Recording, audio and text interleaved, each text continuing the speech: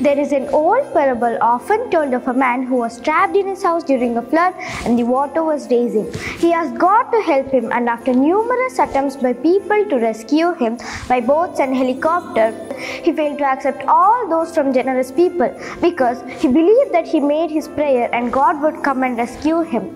But unfortunately, flood took his life and he died.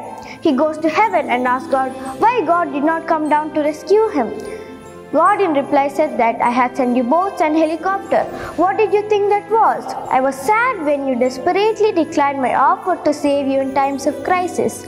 We encounter different people in our lives as messengers of God. We have parents, teachers, elders, and neighbors to help, motivate, and guide us. They're all our messengers sent to us by God. Let's this Christmas help us to respect and recognize the messengers around us. Thank you.